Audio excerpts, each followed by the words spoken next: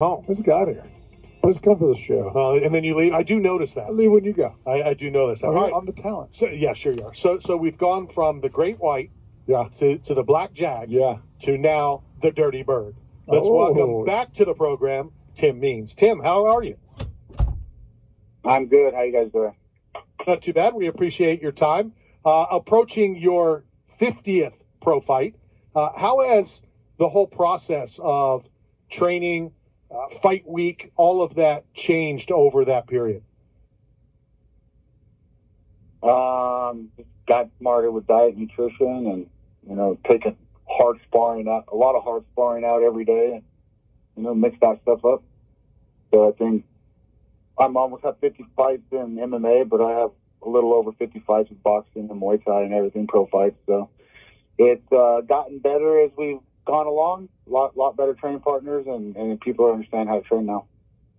Is the, the love, the feeling for the sport the same, you know, now as it was then? And, and the reason I asked that, a, a friend of mine uh, played for the Bucs, and then he was uh, in the Ultimate Fighter uh, around UFC 100, Marcus Jones, and he always told me that he didn't like football; he was just good at it, and that was his profession. And but he wasn't really in love with it.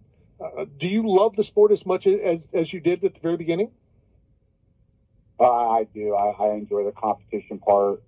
If, if I didn't, I wouldn't be here. I could find other ways to get a paycheck, the easier ways to get a paycheck.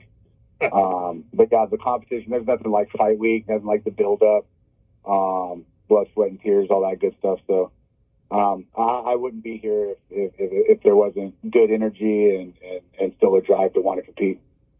Do you try to, when, it's fight week and now you've had so many of them? Do you try to like stay consistent? It's always you know media stuff on Wednesday, relax or rest, a little training maybe on Thursday, or, or do you mix it up, or do you try to not think about the fun that's coming on Saturday, or or do you try to to kind of center on it? Um, I, I pay attention to the how many hard intensity practices we have back to back. I pay attention to those things. I, I eat based on uh, how hard a practice will be, not based on calories or anything like that.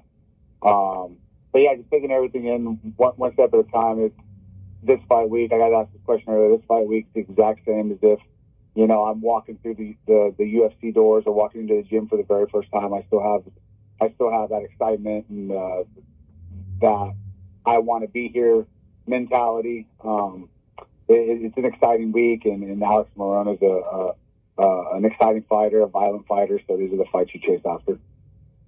I, I know we've had you on before, and we've talked about all, all types of things. Are, are you a guy that that wants to or needs to dislike your opponent? Are you a guy that it doesn't matter? It's just competition, or or how does that fall in for you? Um, you know, when I was younger, you found reasons to not like the guy standing across from you, and you know, I, I've been with this company for such a long time that I've gotten to know people pretty good, you know, on, on, on a social level. So right now, you just put in your mind that you know Alex is is a good guy, nice guy, um, but you make more money when when you win fights, and uh, it feels better when you're getting your hand raised, and it, it feels better when all that training comes to fruition, and and and you're sitting on the winning side of that of, of those railroad tracks. It doesn't always happen, you know. You put you put your all in and leave it all in the cage or leave it all in the octagon. If, if it happens, it happens. But um, it, it's better to get your hand raised. But when you look at yourself in the mirror, you've left it all in the octagon. You have you have no complaints for yourself. So, so Tim, obviously we're talking about the fight ahead of us, and, and we're not looking past that. But looking back, November twenty first, twenty twenty, you beat a Mike Perry, who is now a rising star in bare knuckle. Have you ever like looked at it and like thought after the MMA career is over, yeah, maybe you would you do something like that or or entertain an idea like that? You know, man, I'm a fighter at the end of the day. You know, money talks, and you know, if the excitement's there, and and my body's still allowing me to to cut weight and put in the hard training camps and and, and run with these young guys, it's absolutely a possibility. I I've been doing this my whole life, so you know, fighting fighting is is, is pretty normal for me anymore. But um,